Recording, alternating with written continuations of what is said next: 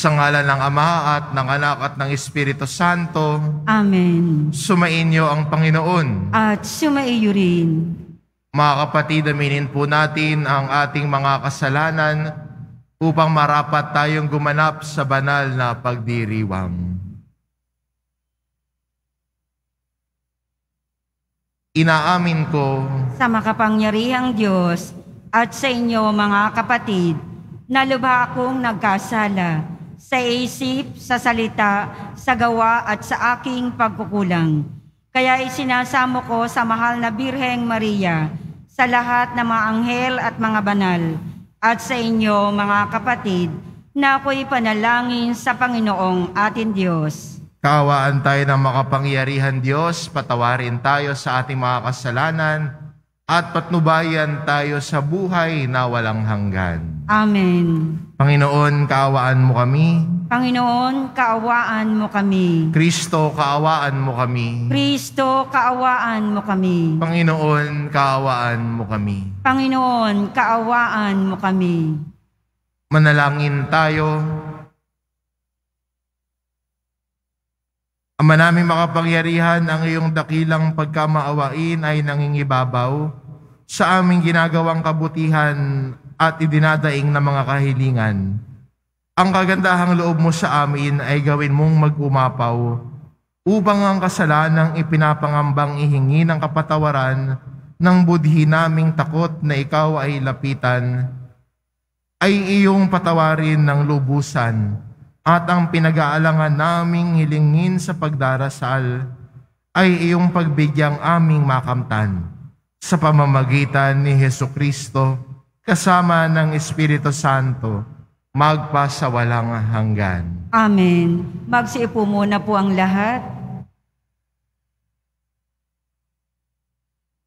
Pagbasa mula sa aklat ni Propeta Howell. Ito ang sinasabi ng Panginoon. Kailangang humanda ang mga bansa at magtungo sa kapatagan ni Hosafat. Akong Panginoon ay mauupo roon upang hatulan ang lahat ng bansa sa paligid. Ubod sila ng sama. Gapasin mo silang parang uhay sa panahon ng anihan. Ligisin mo silang parang ubas sa pesaan hanggang sa umagos ang katas. Angaw-angaw ang nasa kapatagan ng paghatol, sapagkat darating na ang araw ng Panginoon. Wala nang liwanag ang araw at ang buwan at hindi na kumikislap ang mga bituin. Dumadagundong ang tinig ng Panginoon mula sa bundok ng Siyon. Animoy kulog na nagbubuhat sa Jerusalem. Ano pat nanginginig ang lupa't langit. Subalit, iingatan niya ang kanyang bayan. Sa gayon, malalaman mo, Israel, na akong Panginoon ang iyong Diyos. Ang aking tahanan ay ang Sion, ang banal kong burol, lunsod kong banal ang Jerusalem. Ito'y hindi na muling masasakop ng mga dayuhan. Sa panahong iyon, magiging panay ng ubasan ang mga bundok. Mga bakahan ang makikita sa bawat burol. Mananagana sa tubig ang buong Huda. Dadaloy mula sa templo ng Panginoon ang isang batis na didilig sa kapatagan ng sitim.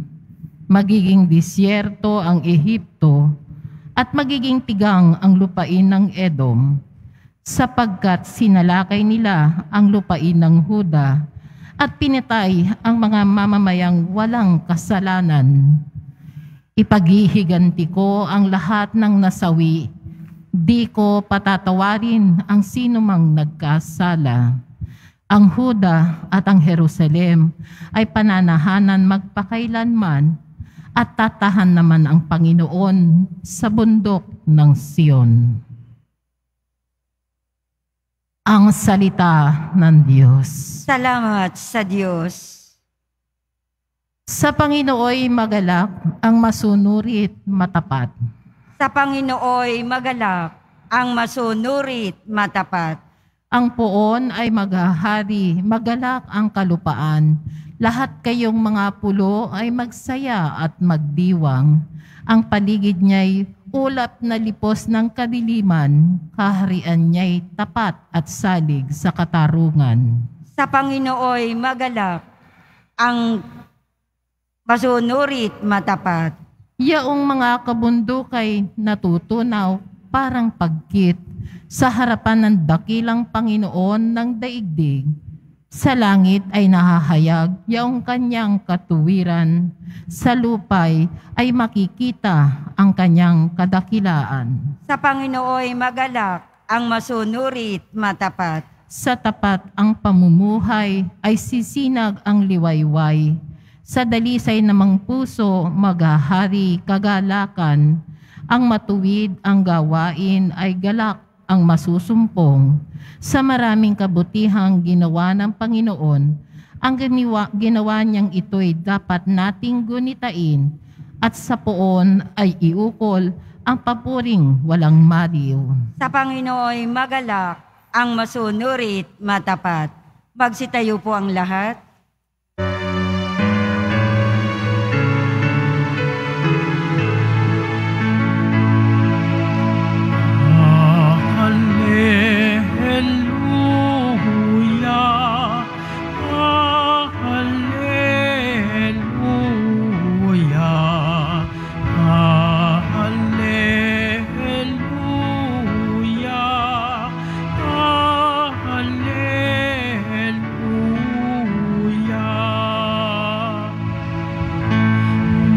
Mapalad ang sumusunod sa salitang buhat sa Diyos at namumuhay ng angkop.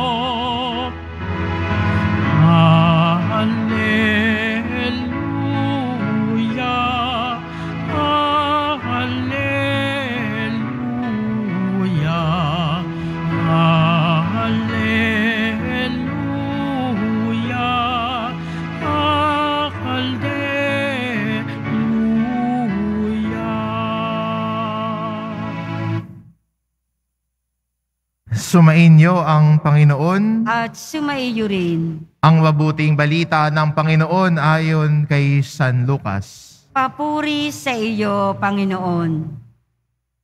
Noong panahong iyon, samantalang nagsasalita si Jesus sa mga tao, may isang babaeng sumigaw mula sa karamihan at nagsabi sa kanya, Mapalad ang babae nagdala sa iyo sa kanyang sinapupunan at nagpasuso sa iyo. Ngunit sumagot siya, Higit na mapalad ang mga nakikinig sa salita ng Diyos at tumutupad nito.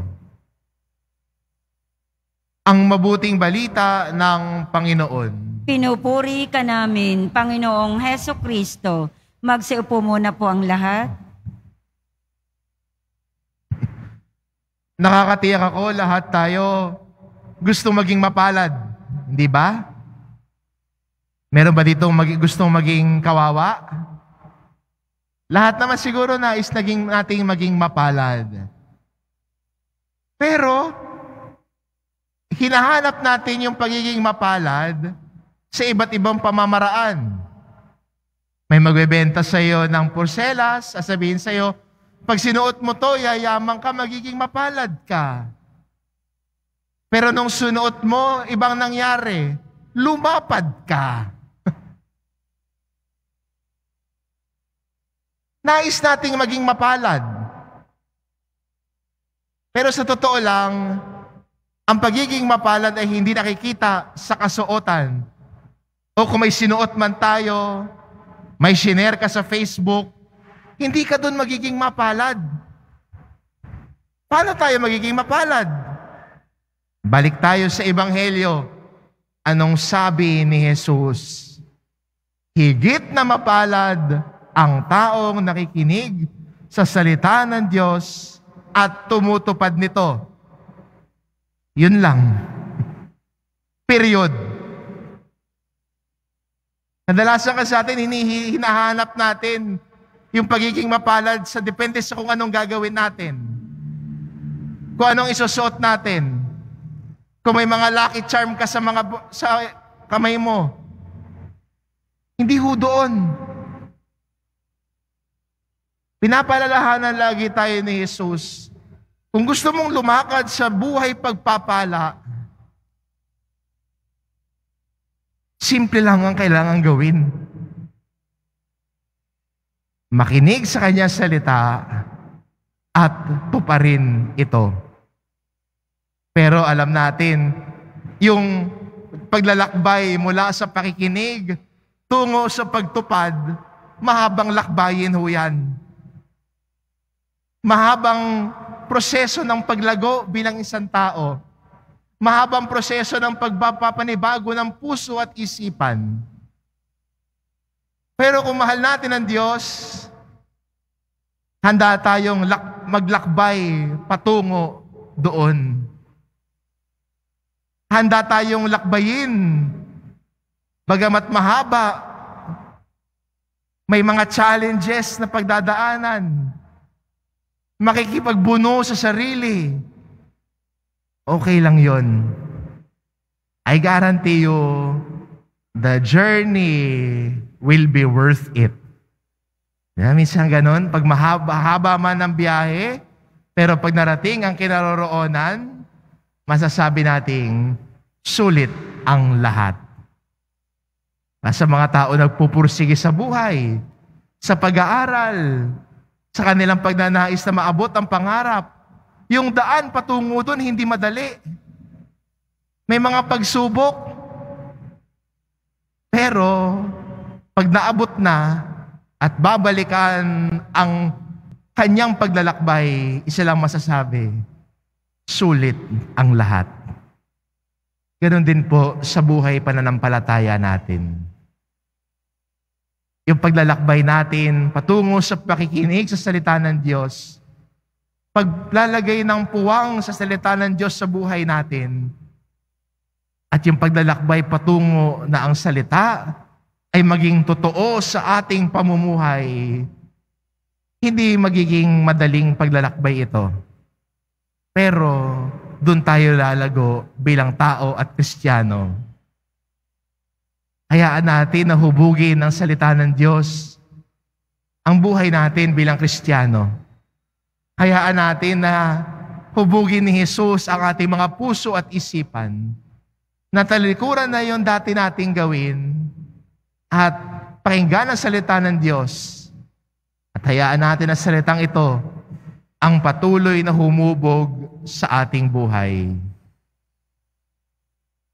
Ang salita ng Diyos sana, bigyan natin ng puwang. Hindi kung kailan lang natin maisipan. Hindi kung kailan lang na tayo free. Walang ginagawa para pakinggan ang salita ng Diyos. Pero sana ang salita ng Diyos ay ang ating unang pipiliin kada araw. Kaya siguro magandang uh, challenge na gusto kong iiwan sa inyo ay simulang buksan ng iyong Biblia pagkagising sa umaga. Kahit yung basahin mo lang yung ebanghelyo sa araw na ito, kahit magsimula tayo doon, makikita naman natin online ito eh. yung mga pagbasa natin, simulan natin doon. Kahit limang minuto kada araw, pagising mo sa umaga, simulan sa pagninilay sa salita ng Diyos. Five minutes a day is not too much. Kumbaga sa tatlong oras o apat na oras na Netflix and chill natin. Five minutes a day to read the Word of God is not too much.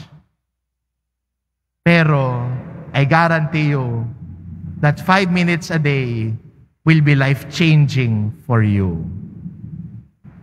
Dahil ang salita ng Diyos ang humuhubog sa buhay natin. Kaya ang tanong, gusto mo bang maging mapalad? Etong imbitasyon sa atin ng Diyos ngayon, pakinggan ang kanyang salita at tuparin ito. Amen. Magsitayo po ang lahat.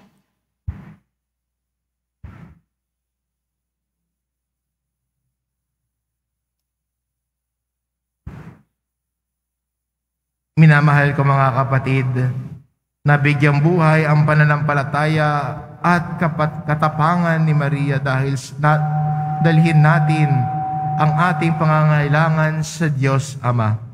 Ang ating itugon, Panginoon, maganap nawa sa amin ang iyong kalooban. Panginoon, maganap nawa sa amin ang iyong kalooban. Sa paggabay ni Maria, ang mga pinuno ng simbahan naway akayin ang bayan ng Diyos para higit na mapalapit kay Kristo sa pamamagitan ng kanilang pagpapahayag at halimbawa. Manalangin tayo. Panginoon, maganap nawa sa amin ang iyong kalooban. Katulad ni Maria, naway tanggapin natin ang salita ng Diyos sa ating puso at tumugon dito ng may buong kabukasan ng kalooban. Manalangin tayo. Panginoon, maganap nawa sa amin ang iyong kalooban. Sa pagsunod sa mga halimbawa ni Maria, naway magawa ng mga ina ang kanilang tahanan na maging pook na puno ng pagmamahal at kabanalan. Manalangin tayo. Panginoon, maganap nawa sa amin ang iyong kalooban. Sa tulong ni Maria, naway tingnan ng Diyos ng may habag ang mga may sakit. Manalangin tayo. Panginoon, maganap nawa sa amin ang iyong kalooban. Ang mga yumao naway magsaya sa walang hanggang kaligayahan na kasama si Maria at ang mga banal. Manalangin tayo. Panginoon, maganap nawa sa amin ang iyong kalooban. Ama naming nasa langit, piliin, pinili mo si Maria upang maging ina ng iyong anak. Tulungan mo kami sa pamamagitan ng kanyang panalangin na mapahalagahan namin ang mga alaala ng kamatayan at muling pagkabuhay ng iyong anak. Inihiling namin ito sa pamamagitan ni Kristong aming Panginoon. Amen. Magsipo muna po ang lahat.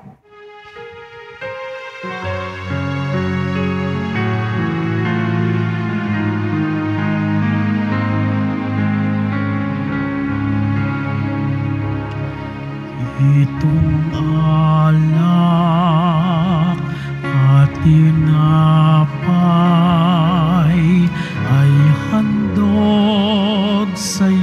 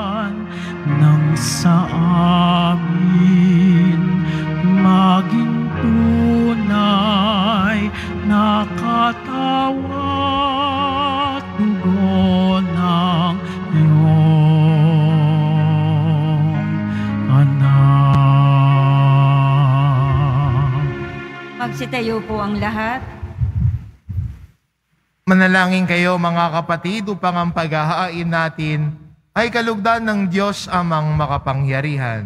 Tanggapin nawa ng Panginoon itong paghahain sa iyong mga kamay, sa kapurihan niya at karangalan, sa ating kapakinabangan at sa buong sambayanan niya ang banal.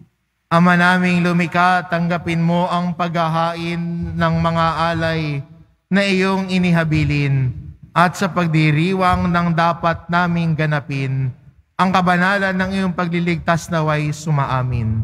Sa pamamagitan ni Heso Kristo, kasama ng Espiritu Santo, magpasawalang hanggan. Amen. Sumainyo ang Panginoon. At sumaiyo rin. Itaas sa Diyos ang inyong puso at diwa. Itinaas na namin sa Panginoon. Pasalamatan natin ang Panginoong ating Diyos. Marapat na siya ay pasalamatan. Ama naming makapangyarihan, tunay ngang marapat na ikaw ay aming pasalamatan.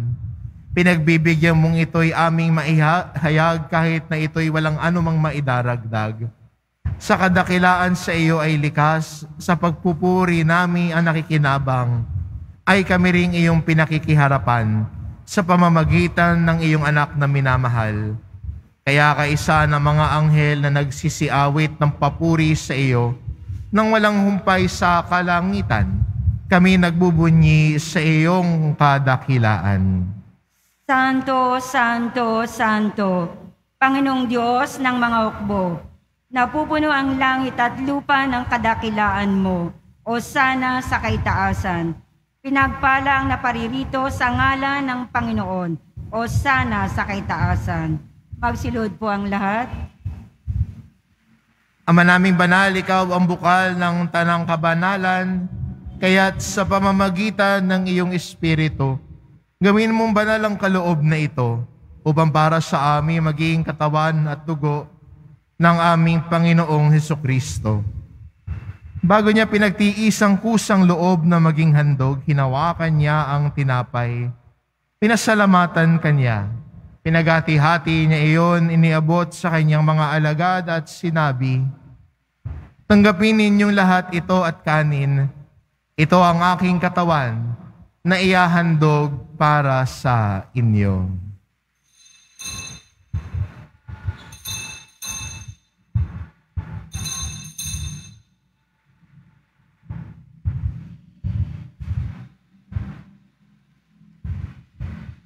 Gayon din naman na matapos ang hapunan, hinawakan niya ang kalis. Muli kanyang pinasalamatan.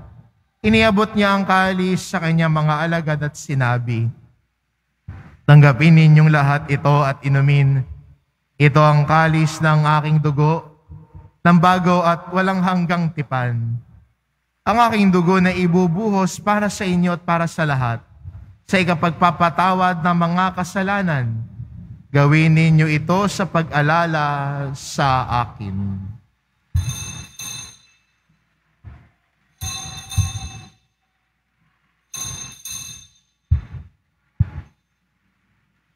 Magsitayo po ang lahat. Ipagbunyi natin ang misteryo ng pananampalataya. Si Kristo ay namatay, si Kristo ay nabuhay, si Kristo ay babalik sa wakas ng panahon. Ama, ginagawa namin ngayon ang pag-alala sa pagkamatay at muling pagkabuhay ng iyong anak. Kaya't inaalay namin sa iyo ang tinapay na nagbibigay buhay at ang kalis na nagkakaloob ng kaligtasan. Kami nagpapasalamat dahil kami iyong minarapat na tumayo sa harap mo para maglingkod sa iyo. Isinasamo namin kaming magsasalo-salo sa katawan at dugo ni Kristo ay mabuklod sa pagkakaisa sa pamamagitan ng Espiritu Santo. Amalingapin mo ang iyong simbahang laganap sa buong daigdig. Puspusin mo kami sa pag-ibig kaisa ni Francisco na aming Papa at ni Jose na aming Obispo at ng Tanang Kaparian. Alalahanin mo rin ang mga kapatid naming nahimlay na may pag-asang sila'y muling mabubuhay. Gayon din ang lahat ng mga pumanaw. Kaawaan mo sila at patuloyin sa iyong kaliwanagan. Kaawaan mo at pagindapatin kaming lahat na makasalo sa iyong buhay na walang wakas. Kaisa ng mahal na Birheng Maria na ina ng Diyos, ng kabiyak ng puso niyang si San Jose, kaisa ng mga apostol at ng lahat ng mga banal na namuhay dito sa daigdig ng kalugod-lugod sa iyo. Maipagdiwang nawa namin ang pagpupuri sa ikararangal mo sa pamamagitan ng iyong anak na aming Panginoong Heso Kristo. Sa pamamagitan ni Kristo kasama niya at sa Kanya, ang lahat ng parangal at papuri ay sa iyo, Diyos amang makapangyarihan, kasama ng Espiritu Santo, magpas sa walang hanggan. Amen.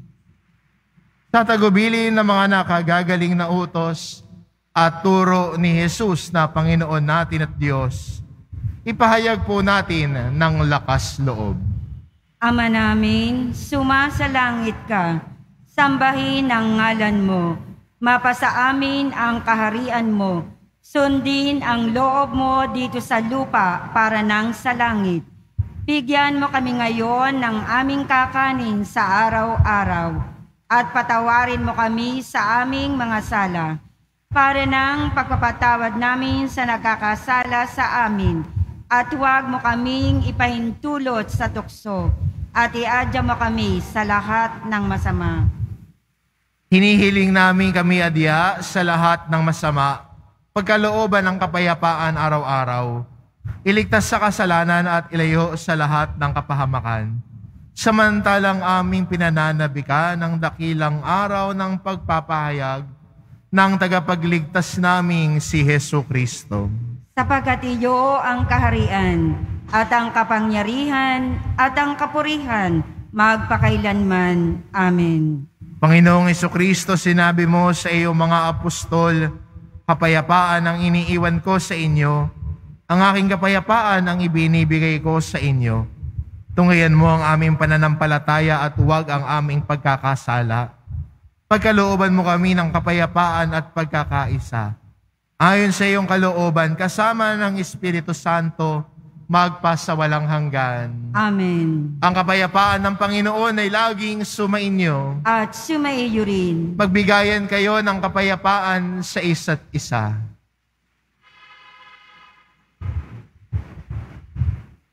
Kordero ng Diyos na nag-aalis ng kasalanan ng sanlibutan, maawa ka sa amin. Kordero ng Diyos na nag-aalis ng kasalanan ng sanlibutan, maawa ka sa amin. Kordero ng Diyos na nag-aalis ng kasalanan ng sanlibutan, ipagkaloob mo sa amin ang kapayapaan. Magsilod po ang lahat.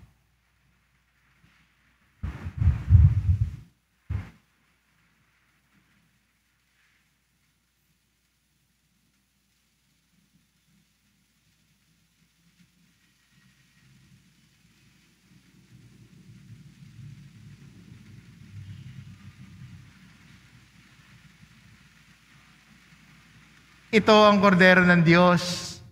Ito nag-aalis ng kasalanan ng sanlibutan.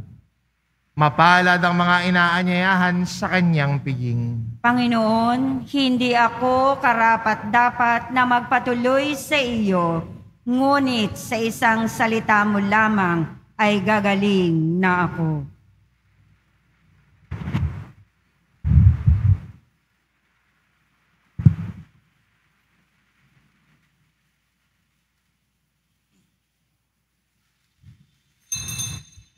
Para sa lahat ng tatanggap ng banal na komunyon, sasagot po tayo ng amin pagkasabi ng pari o ng lay minister ng katawan ni Kristo at isubo agad sa bibig bago umalis sa harapan ng pari o lay minister.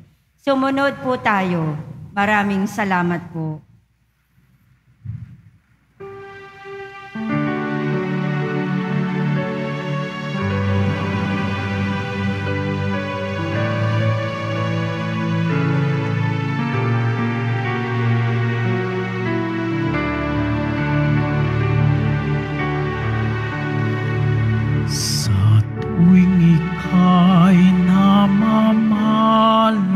us.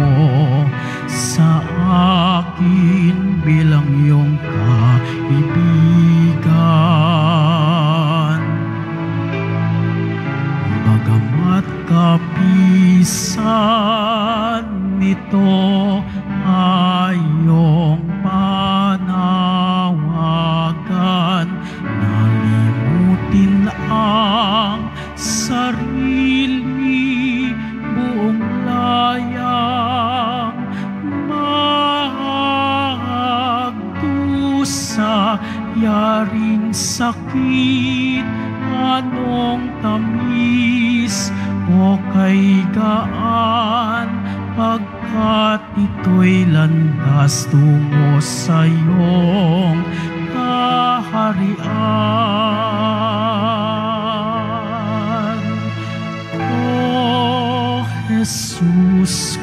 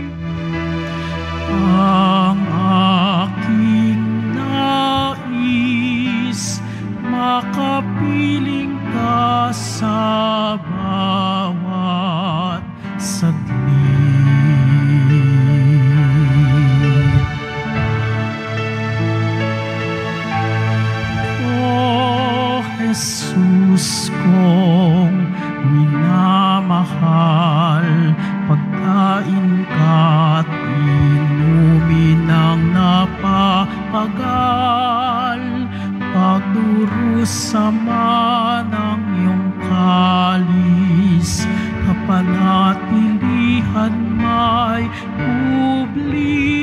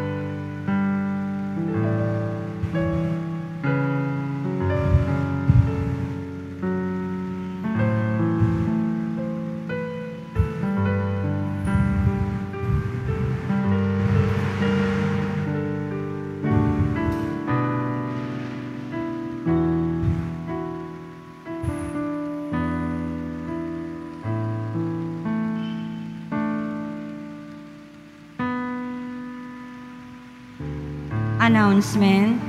Available na po ang ating mga eh, souls, all souls envelope sa mga sa mga nagnanais. Maaari kayong kumuhan sa, na malapit sa mga pintuan ng ating simbahan o sa information guard. Isulat lamang po ang mga pangalan ng mga kamag-anak, kaibigan at mga kakilalang na mayapa o sumakabilang buhay na. At sa buong buwan ng Nobyembre, ito po ay ating isasama sa lahat ng mga misa na nagaganap sa ating simbahan.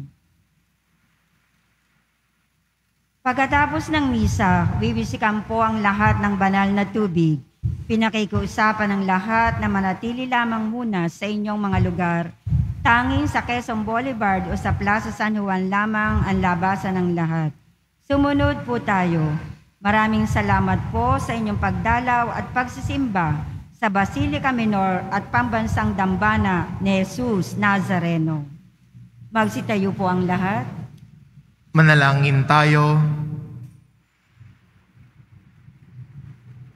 Ama naming mapagmahal, ipagkaloob mong sa pagsasalo namin sa pagkait inuming banal.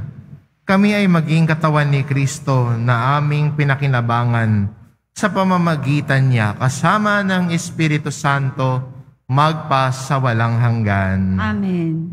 Sumainyo ang Panginoon. At sumaiyo rin. Mahal na pong Jesus Nazareno, iniha, inihayag mo sa pamamagitan ng krus ang walang maliw na pag-ibig ng Diyos sa sangkatauhan. Pakinggan mo ang kahilingan ng iyong angka na nagsusumamo sa iyo. Makamtan nawa nila ang iyong katugunan at tanggapin ang kasagutan ng may utang na loob na tinatanaw. Basbasan din po ninyo ang mga may daladala nilang imahin at dasalan sa pamamagitan ng bendisyon na ito na may maalala nila ang mga pangako nila noon sa binyag na ikaw ang kanilang iibigin at paglilingkuran bilang Panginoon magpa sa walang hanggan. Amen. At pagpalain kayo ng ating mapagmahal na Diyos, ang Ama at ang Anak at ng Espiritu Santo. Amen. Humayo kayo, taglay ang kapayapaan ng poong Jesus Nazareno. Salamat sa Diyos.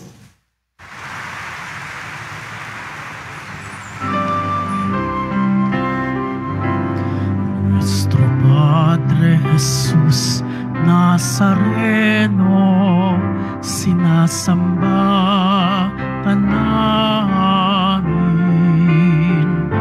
Pinipintuho ka namin. Aral mo ang aming buhay at kaligtasan. Nuestro Padre Jesus Nazareno, ilikas mo kami sa kasalanan. Ang krus mong kinamatayan ay sagisag ng aming kaligtasan. Nuestro Padre Jesus Nazareno,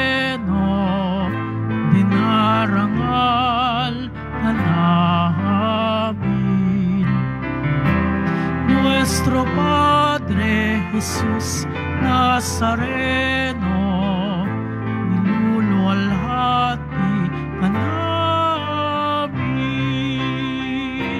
Nuestro Padre Jesus Nazareno,